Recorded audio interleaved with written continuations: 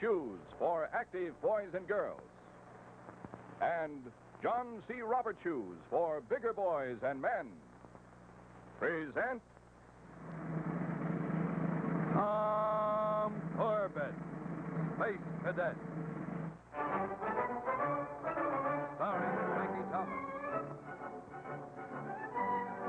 Space Academy, USA, in the year 2354 AD. The world beyond tomorrow, where space cadets defend the liberties of the planets and safeguard the cause of universal peace in the age of the conquest of space.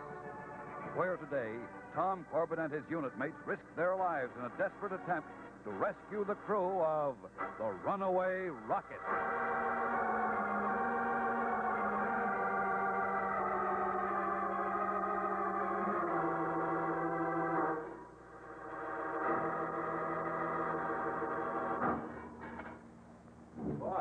Is a compact little job, isn't it, Tom? Yeah, not a square inch of wasted space. Boy, this wagon is really going to travel. Hey, here's the astrogation and radar station.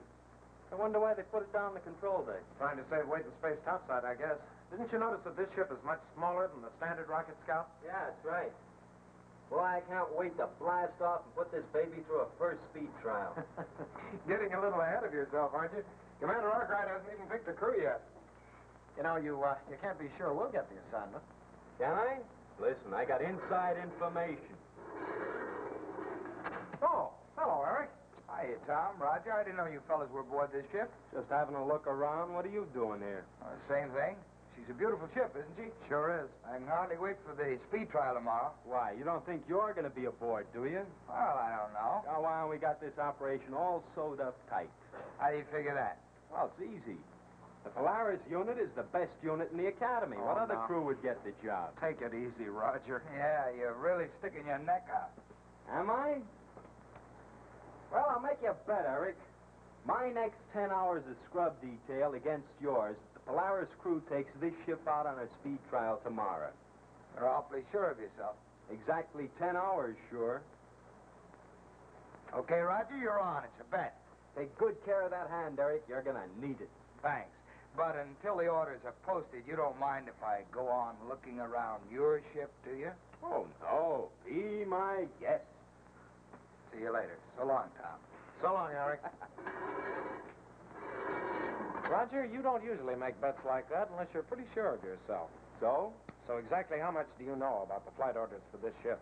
Well, I happened to talk to the OD this morning, and uh, he just mentioned that we were being deta- detached from regular duty and placed on special assignment tomorrow. And what about it? Well, the only special assignment tomorrow is the speed trial of this ship. Catch? Oh, I catch all right. You tricked Eric No, I didn't. I took one fact, added it to another. and came up with minus 10 hours of scrub duty. You ought to be shot. Junior, even that would be better than scrub duty. Off the schedule for 5 a.m., Commander. Our course will take us to Mars. We'll circle the planet once, and then we'll return to Earth. Fine. You, uh, you don't expect the escort vessel to be able to keep up with the rocket scout, do you, Strong? Oh, no, of course not, Commander, but they can escort us perhaps uh, a quarter of the way and then meet us on the return flight. Fine. Now, how about the crews? Well, I've cleared Cadets Corbett, Astro, Manning, and Radisson for duty, sir. Of course, I haven't posted the order yet in case you might prefer someone else. Well, who'll be our power deck officer on the scout? Cadet Radisson. The other three boys can follow in the escort vessel. That's the, the Polaris. I see. I think that should be quite satisfactory. Hmm? You can post the order. Yes, sir. And I'm sure that all four of the boys will be proud and happy to take part in this operation.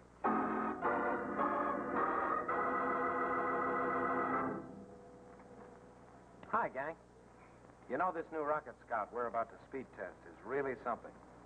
It's perfectly designed for the job. You all know how important that is. And that's why these new Red Goose shoes called Emery are so great. They're perfectly designed for those warm summer days ahead. They're a brown U-tipped Oxford with a brown tweed nylon mesh that gives you plenty of cool comfort and yet doesn't soil or show dirt like most light-colored meshes. And the Emery has a narrow, snug-fitting heel and also that sturdy, long-wearing Interflex sole. As a matter of fact, these smart-looking shoes are the last word for summer comfort. And they look just like your older brother's sports shoes. Everyone's wearing them, fellas. So how about you? Why don't you ask Mom and Dad to get you the emery today? They're also available in brown with eggshell nylon mesh. Oh, and uh, and don't forget your Space Cadet identification bracelet. Absolutely free with every pair of Red Goose or John C. Roberts shoes. All right, gang? Stand by for the speed trial.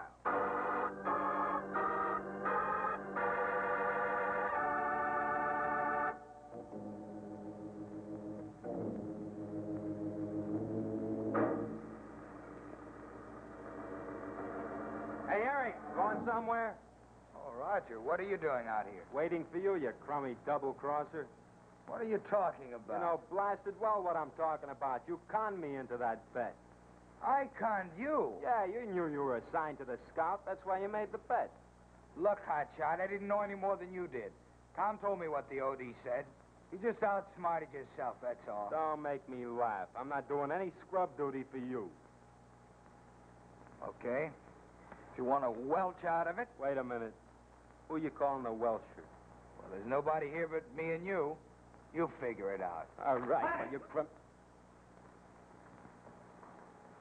What's going on here? Nothing, sir. We were, uh, just talking, sir. Oh, I see. And do you usually do your talking with your fists, Manning? Or were you just showing him that you had clean fingernails? Well, no, sir. We. Well, you see, we. I've seen enough. And we're supposed to blast off in five minutes, and you should be on the Polaris right now. Yes, sir.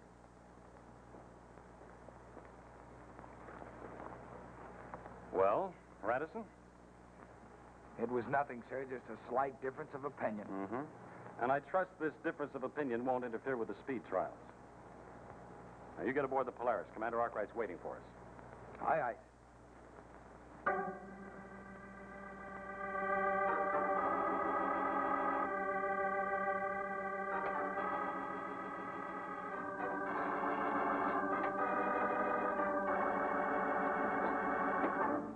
Control deck to power deck. Check in.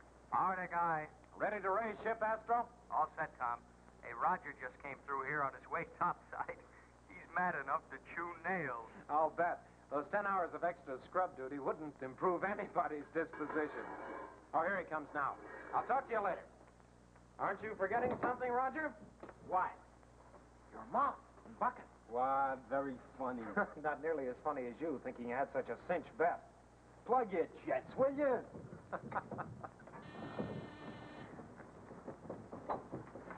Rocket Cruiser Polaris, Cadet Corbett here. This is Captain Strong aboard the Scout. Are you ready to raise ship? Yes, sir? Fine. We'll blast off in 30 seconds. You'll follow at a one minute interval. We'll maintain contact in space on this frequency. Right, sir. That's all. And transmission. Spaceman's luck, sir. And transmission. All stations, prepare for standard blast-off procedure.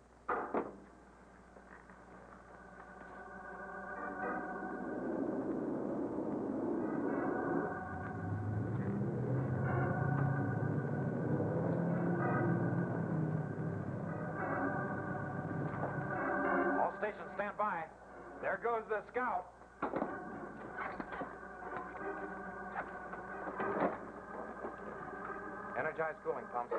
Cooling pumps aye. Feed reactant. Reactant feeding at D9 rate. Cut in takeoff gyros. Gyros in. Blast off. Minus five, four, three, two,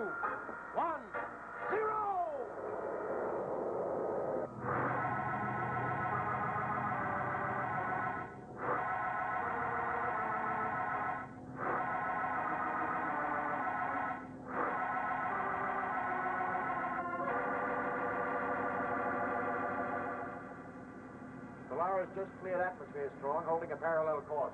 Fine, thank you, Commander. We can begin the speed trials now. How long do you expect the Polaris will be able to keep up with us? Well, I don't know, Commander. But you can bet those boys will do their best to match us. Hmm. I trust they won't overdo it. I'll see that they don't, sir. Control deck to power deck, check in. Power deck aye. Ready to begin the speed trials, Radisson. You can set it for three quarter space speed. Three quarter speed aye. On speed, sir. That's fine. Now, we'll hold this speed for the first leg of the course. Then on the return trip from Mars, we'll, uh, we'll open full throttle. Aye, aye. And, sir, Yes? I'd appreciate it if you'd let me know when we start pulling away from the Polaris. Hey, Tom, check in. Go ahead, Roger. What do you think the Polaris is? An old garbage scow? Come on, get the lead out of her tubes. Let's blast. Now, wait a minute, Roger. You know, we're not in a race with that rocket scout. No, but we're supposed to keep up with her as long as we can. She's pulling away. Sorry, pal, there's nothing we can do about it. We're on full space speed now.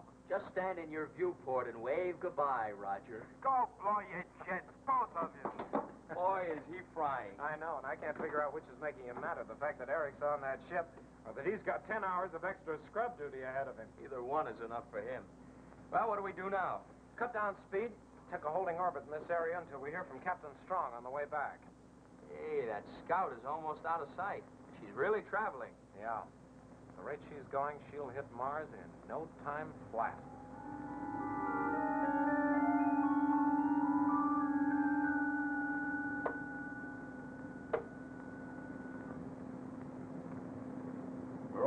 End of our orbit around Mars, Strong. We'll be on course back to Earth in 30 seconds. That's fine, Commander. That's when we'll really open her up. We'll find out how much speed this ship has. Control deck to power deck. Check in, please. Power deck, guy. Radisson, we're almost ready to wind her up. How are things going down there? Smooth as silk, sir. All set to rest. On course, Strong. All right, Radisson. Full space speed. Full speed aye. On speed, sir. All right, now that's fine. Now just hold it there and stay on your toes. If there's any sign of trouble, any any hint that anything might go wrong, you, you cut her back now. Don't worry, sir. There won't be any such thing as that. Great galaxy. Hello, Captain Strong. Oh, well, what's the matter, Radisson? Something's wrong with the main control panel, sir. A short circuit, I think. Well, then cut down all rockets. We'll travel on one quarter speed until you find the trouble. But, sir, I've tried and, and nothing happens. As a matter of fact, I think we're going even faster. Well, then shut off all power completely and we'll drift. Aye, aye, sir. Stand by. What do you suppose happened down there, Strong? I don't know, Commander. Seems like just a simple short in the, in the electrical system, but could be anything.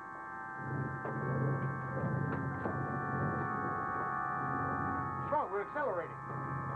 Power deck, check in. Aye, aye. What's the matter with you, Radisson? I told you to shut off all power.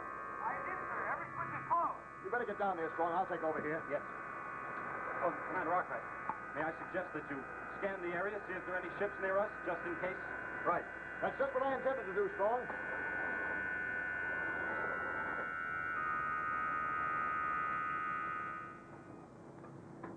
Just think, Tom. When this trip is over, we're free men. The whole summer off. Planned your vacation yet, Astro? What's the plan? I'm going home to Venus and sit. Just sit and do nothing. When did you ever do anything else? Well, if it isn't the scrub duty kid himself, we don't have to ask him what he's going to do on his vacation. Cheer up, Roger. We'll be with you in spirit, working right alongside of you with every stroke of your mop and broom. Okay, okay. You've been playing that record long enough. Knock it off, will you? How long do we have to hang around here anyway? You know as well as I do, Roger. Until the rocket scout's on the return leg of the speed trial. Haven't you heard from the scout? Nah, not a peep. You better stand by topside. Because if they come back at the same rate of speed they went out, we'll be hearing from them pretty soon now.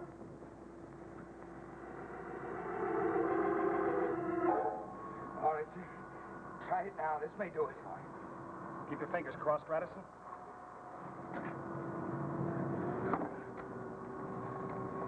No use, sir. We're accelerating more and more. Gotta slow down, Radisson. We'll be nailed to the deck. I know, sir. I, I can hardly stay on my feet. All right, come on. Come on, let's tackle it again. Sir, there's another way. Well, Disconnect the whole electrical circuit. Just rip it off. well, we'll be completely helpless, Radisson. I realize that, sir, but at the rate we're accelerating, we're almost helpless now. In a few minutes, we won't be able to do anything. Not even move. Not even get out of the ship. All right. All right, come on, let's go. Wait a minute. Wait a minute. Our whole communication system will be out. I better send a distress alert first.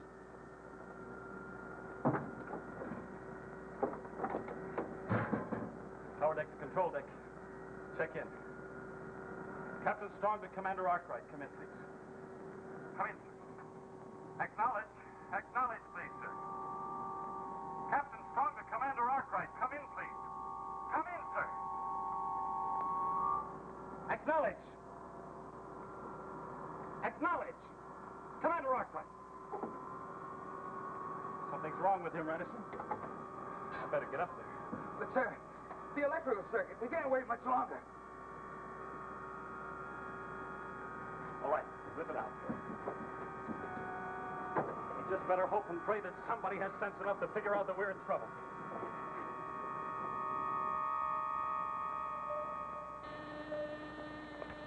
Radar bridge aye. Roger. Have you spotted that scout yet? Yeah, I picked her up on a long-range scanner about a minute ago. Good. Well, I don't know how good it is. She's way off course. Yeah, burning up space like crazy, but heading in the wrong direction. She's holding course on 243 instead of 275. That's funny. Oh, did we get a change of flight plan? Not that I know of. Look, you better check with Captain Strong.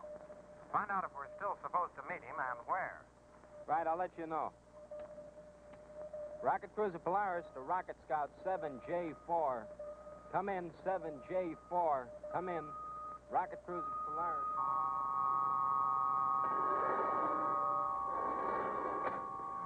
Commander. Oh, Strong. Commander I, Arkwright. Strong, I, I can't move. That acceleration's been pinning me down. Come on, sir. Let me help you.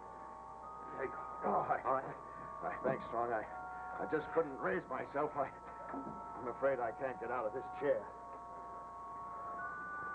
Doesn't make any difference, sir. There's nothing we can do anyway. We've just disconnected the electrical system to shut off all power, and at least, well, that way we won't accelerate anymore. Strong. Then we're in free fall. We'll go moving on at this speed forever. Now, according to Roger, the rocket scout left the Mars orbit on this heading, 243. The original flight plan called for a heading of 275. Where are we now, Tom? Right here on the original course. That's funny. Scout won't come anywhere near Earth on that new heading. Wonder why Captain Strong changed his flight plan. Yes, and what are we supposed to do about it? No. That's Roger. He must have spoken to the skipper by now. Controller, go ahead, Roger.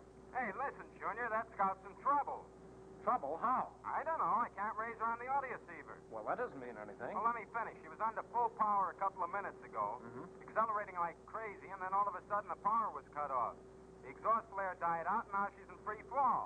Well, is she still on the same course? Yeah, 243. But, Tom, I think she's out of control, running away. Tom, I just projected that heading. It'll take the Scout right into the sun. Something, Jupiter. Roger, can you plot a course to intercept the scout? I'm ahead of you, pal. I already have. Good boy. Shoot it down to me. Wait a minute. Means we'll be sticking our necks out. How? We'll be cutting awfully close to the sun ourselves. One mistake, and we're French fried cadets. Well, Astro? It'll be awfully uncomfortable for those guys on the Scout if we don't go after them. Yeah. Get down below and start to sweat out those neutrons. Hello, Roger. Feed me that heading. I always did want a good sunburn.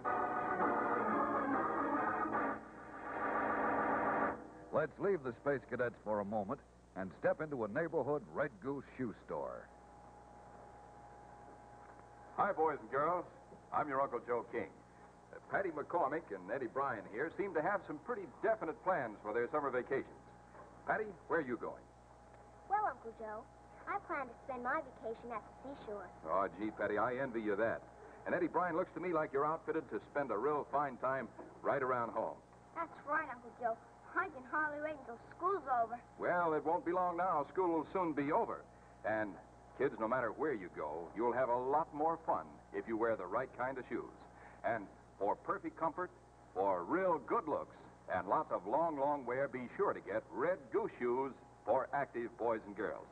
Hey, Patty, by the way, you've been modeling an awful lot of shoes on our show all year. Of all that you've modeled, which is the pair that you like the best? Well, Uncle Joe, I think they're all so wonderful. Because there's a perfect pair for each occasion. Well, I'll surely go along with you on that, Patty. And Eddie Bryan, of all the Red Goose shoes, which is your favorite? I like them all too, Uncle Joe. Well, kids, that makes it unanimous. And, gang, don't forget, you'll like all the wonderful Red Goose shoes. So, ask Mom and Dad about a pair that you like the best today.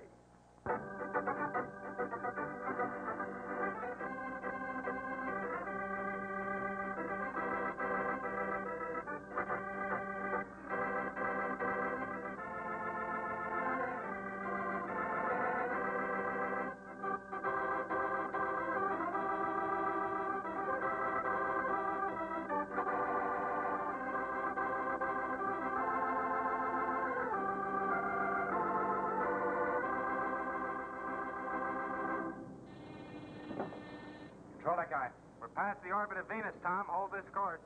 Right. Look, Roger, how much of a margin for error do we have? If we don't intercept the scout on this heading, do we get another chance? The only chance we'll have is to take a hot bath in the sun. It's this heading or not at all. Okay. Thanks, Roger. Tom, I patched the power controls in up here. Getting hot below deck. Well, it's not going to be much cooler here, Astro. Well, maybe not, but at least I can roast in company. What do you plan to do? Board the scout and find out what's wrong? There isn't time, Astro. We've got to take first things first. The important thing now is to push that scout off course. Steer it away from the sun. We can find out what's wrong with it afterwards. Maybe, but at the speeds we're traveling, we're liable to wreck both ships. I know, Astro, but there's no other way. Unless we push that scout away from the sun, it'll become a flying oven.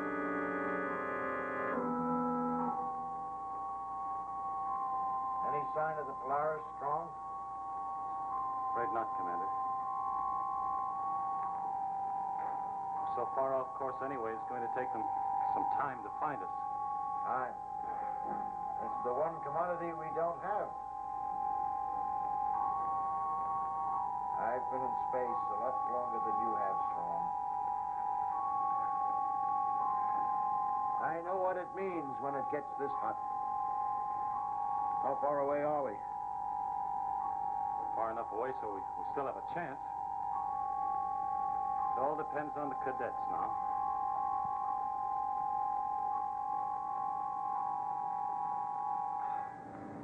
I can't take much more of this, Tom. Well, you've got to, Astro. A couple of more minutes and we'll... Control the guy. Cut down speed, Junior. We're coming up to the scout. Right. One quarter space speed, Astro. One quarter, all right. Correct heading to come alongside. 20 degrees left. Two second burst on starboard steering rockets, Astro. Right.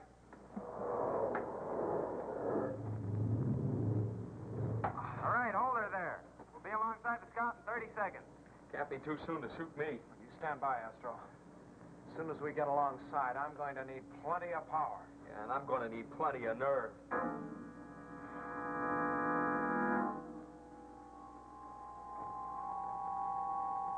No use, Commander. It's no use. We're too close to the sun. Those cadets could never get in here with the... Captain, please. Well, what happened, Strong? Did we hit something? I don't know, Commander. Captain Strong! Captain Strong! Well, what, what happened, right? The Polaris is alongside, sir. The Polaris. Where? On the port side, sir. I saw it through the power deck viewport. And we still have a chance. Not much, I'm afraid, Strong. Those cadets can't turn this ship at right angles. And they've simply put their necks in a noose. You all set, Astro? All set, Tom. Hey, what's holding up the work? Damp your tubes, Roger, and leave us alone. Now just watch your scanner and tell us when we made enough of a turn. Okay, okay, go ahead. All right, Astro, port steering rockets. One quarter, sustained burst. Port, one quarter, all Ah, no, it's not enough. Increase to one half. Tom, we're bouncing against that scout. We're going to rip a hole in our plate. So what? Give me three quarters.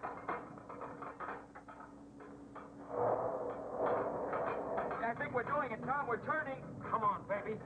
Come on. All right. Sustained power, Astro. Keep pouring it on. I hate to think of what's happening to those tubes with this load. Buy you a whole set of new ones. Okay, down there. That's enough. We turned her. We're in the clear. All right, Astro, cut off all power. Oh. Well, boy, we did it. I don't know how, but we did it. Yeah, and you know something, Tom? I've changed my mind about my vacation. What do you mean? Well, if you think I can stand that Venusian jungle heat after this, you're space happy. I'm heading for the Martian ice cap.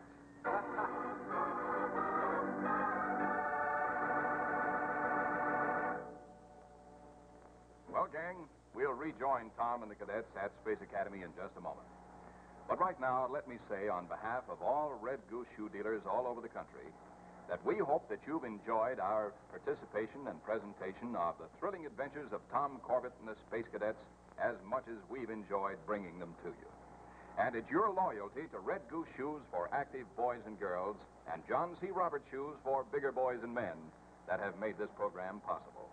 And now, This is Patty McCormick, Eddie Bryan, and Uncle Joe King saying so long and wishing you a very, very pleasant summer.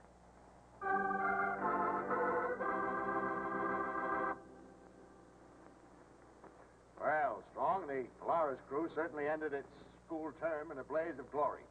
If it hadn't been for those boys, the Rocket Scout would have been destroyed. Uh, Not to mention us, sir. Well, boys, ordinarily this would call for a few days' liberty. But since you're going on your summer vacation, I think that's a rather empty gesture. Maybe you could give us credit for next term, sir. I'll uh, consider that, Astro. You boys just about ready to leave? All we have to do is pack, sir, then we're on our way. Where's Manning? Manning, uh, he'll be a little late, sir. Uh, he's catching up on his homework, sir. Ah, go blow your jets. Well, goodbye, boys. Have a good summer. Thank you, sir. Same to you. And that goes for all you space cadets, too. We've had a swell time being with you. We hope you enjoyed being out in space with us as much as we enjoyed having you aboard. And thanks for all your letters. Just because we're going on summer vacation, don't stop writing. That's one sure way to keep us blasting on all rockets. So until next fall, when we hope to blast off with you again, spaceman's luck to you all.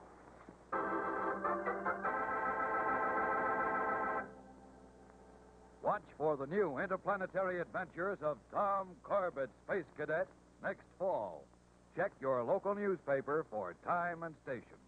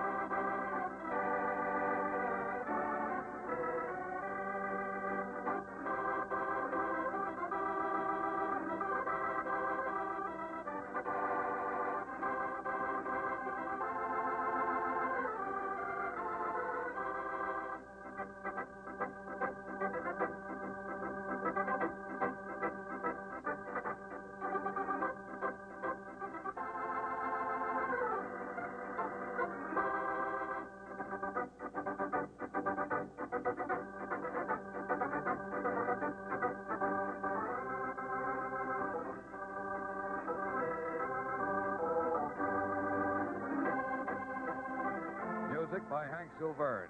Your narrator is Jackson Beck. This has been a Rock Hill production, brought to you by Red Goose Shoes and John C. Roberts Shoes. This is the Dumont Television Network.